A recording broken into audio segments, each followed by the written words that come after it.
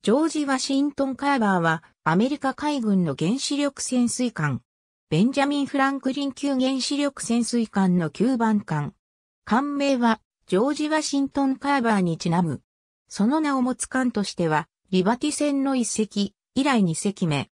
ジョージ・ワシントン・カーバーの建造は1963年7月29日に、バージニア州、ニューポートニューズのニューポートニューズ造船所に発注され、1964年8月24日に寄港した。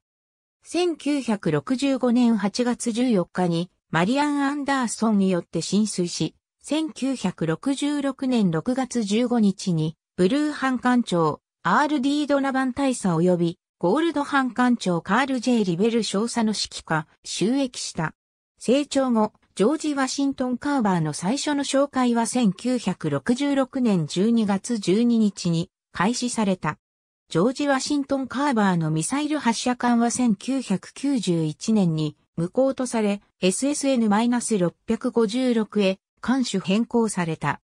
ジョージ・ワシントン・カーバーは1993年3月18日にワシントン州ブレマートンのピュージェットサウンド海軍造船所で退役し、原子力艦再利用プログラムに従って解体され、作業は1994年3月12日に完了した。ありがとうございます。